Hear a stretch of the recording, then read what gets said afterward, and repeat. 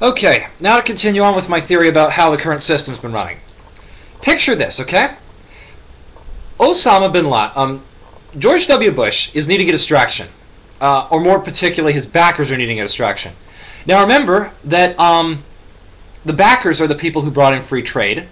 They are well aware of the fact that there are uh, still people in three quarters of the world who end up getting impoverished and killed in some cases due to the diseases and other uh, uh, poor workplace safety conditions, such as in China and other stuff like that. They are well aware of the fact that sweatshops and other things in three quarters of the world kill millions of people. And, uh, or at least I suspect that some of these corporate heads are. So if they are aware that people are getting killed from this, I hardly think they're going to, um, you know, they're hardly going to uh, worry about killing a few uh, people. But the thing is that bottom line, they need a distraction. So, what does Bush do? Or, or Bush's family? They contact Bin Laden. They says, I suspect they knew full well where he was, at least at least for the Dubai treatment. They got a CIA operative to go over and talk to them. Again, assuming it was some sort of official head from the government, probably the CIA operative was unaware. Osama hires a couple of his people and makes it claim that it's a religious attack. The religious uh, people who follow his network at Al Qaeda totally believe him. They attack the, they take the twin towers and they attack the Pentagon, the uh, the plane that crashes down in the uh, in Maryland, and they attack the twin towers. Two thousand people are killed, and a couple of uh, Muslims are killed in um, in what they believe to be a religious uh, uh, fight. This is where I'm talking about again about twisting of ideology to get people. Uh, now, anyway, here's my concern. No sooner, no sooner does the um, no sooner does the uh, the um, uh, what call it uh, the twin towers fall then the Patriot Act is sprung forward. Less than a week later I mean literally less than a week. Um, there have been public reports about uh, about the C- about the Senate actually ask, uh, make, going an inquiry into this and asking a bunch of questions of, uh, of names etc that promptly became classified afterwards. But I digress. Now here's the thing. Penn and Teller bullshit did an episode debunking the so-called um, debunking the so-called uh, Big Brother problem at, uh, by simply saying the government was too incompetent, didn't even read the Patriot Act before they signed it, saying they're too incompetent to be a big brother. But here's my problem with this, and this is one the one fundamental theory which I think that people overlook in this. It doesn't, a conspiracy does not require the entire government to be in on it. It only requires a couple of people, a couple of overzealous people who want to maintain a control. Um, you know, a couple, uh, basically like a couple of the power mongers behind the scenes, to put something forward uh, and have a bunch of incompetent people in power to sign it, not realizing they're actually uh, supporting a conspiracy. And here's the thing, uh, and this is the bit which wor- which worries me more. They've got these uh, things now, like where you know they can uh, they can track your car. Uh, again, Penn and Teller bullshit talked about this. Like they've got these GPS things where they can track your car, that sort of thing. They've got these new GPS things in phones which allow people to hack the phones. They've got greater power to monitor your email and stuff like that. Now, the thing is, people say, let's not worry about it, let's not worry about it, it's just infringement on our civil rights. In Canada, we have something similar, but we did, um, now I'll get to Canada second. But, uh, you know, for the U.S., um, you, uh, you guys have the, uh, like they say, uh, there's still quite a few people who are saying, like, oh, it's nowhere near a totalitarian state, we've got nothing to worry about. Well, here's the thing which worries me about this. It doesn't matter if, uh, if the bulk of the government is, uh, is totalitarian or not a single overzealous bureaucrat who's wanting to get bumped up in the ranks need only access, need only resort to uh, uh, uh, using of wiretapping and stuff like that under the Patriot Act, or deliberately entrap people, um, or what have you, just to because um, if he catches terrorists, so, uh, uh, supposed terrorists, he gets a bump up in his promotion. Or what about the uh, or the fact that even a few um, say for example if if the corporate heads find somebody like Noam Chomsky or somebody like that who they don't like all they have to do is just simply um, demand that the uh, police um, uh, use this under the Patriot Act and monitor them.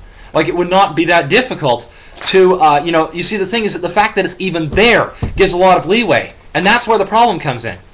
Now the thing, of course, is though, is that um, remember, if we repeat from history, um, the Reichstag fire, uh, where the uh, where the parliament was burned down, was blamed on the Jews and the conspiracy of communists and the Jews and everything by Hitler, um, in the hopes of trying to maintain a totalitarian dictatorship. He, uh, like I said, he was elected in. He there was about a term, and uh, uh, and then it went bad. Now, of course, the thing is, though, is that um, uh, don't get me started on the second uh, national um, elections, but you know, there's a two-term thing in office. But here's the thing: ancient Rome, and and here's the thing I'd like to get people. Now, you know, dictatorships vary from format to format. Of course, you know, people, particularly in a society which is supposedly democratic, they don't want people aware of um, of these sort of things. But let me bear something in mind for you. Ancient Rome. uh, when they became an empire, they kept all the trappings of democracy, uh, of the traditional republic, to make people think that there wasn't really an empire. The Senate still lasted right up until the very sacking of Rome, just to make sure that the, that the plebs and the patricians all believed that they were still taking part in the um, in the uh, uh, whatchamacallit, um, in the republic, and that the reason there was still an imperator was that the state of emergency had lasted for several hundred years.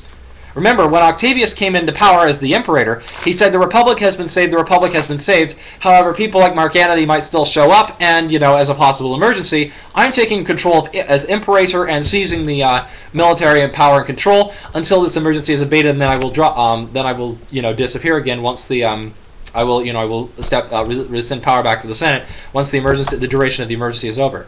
That emergency never ended.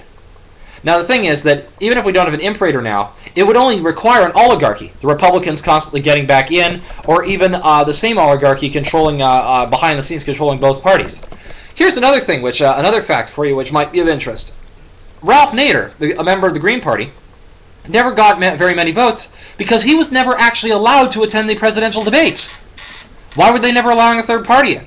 That does raise questions for me. If it's truly a democracy, if it's truly a Republican democracy where everybody should have the right to run, then why cannot a third party go in, uh, as, you know, i.e. the Greens, and run their own presidential candidate as a possibility for the seat? They haven't been allowed. So that raises questions too. But again, oligarchy aside, I think my main concern is, is the fact that, um, and here's the other thing on the secondary presidential elections. Did you know that in the states uh, pertaining to the Bible Belt, they actually put an extra question on the ballot um, which is do you support gay marriage? Yes or no? And only in those states. And the interesting thing about that is that that brought out the religious right in droves. You know, uh, right wing Christians who would normally not vote in elections. That tipped the vote in favor of the Republicans. Also, uh, remember there was some uh, accusation of scandal pertaining to the voting machines. Well, let me tell you some. Uh, this is something that you can uh, check up on.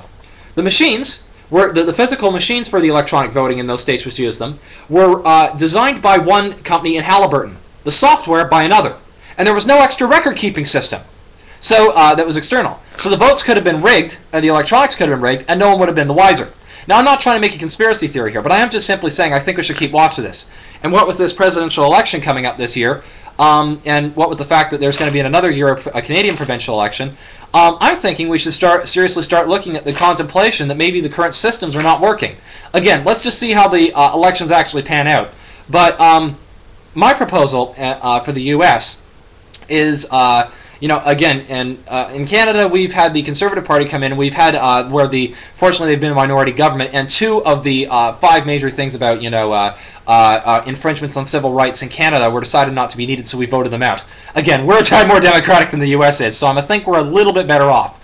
But I'm still I'm strongly beginning to think that at least for you guys down down south of the border, uh, you might want to have a constitutional convention at some point.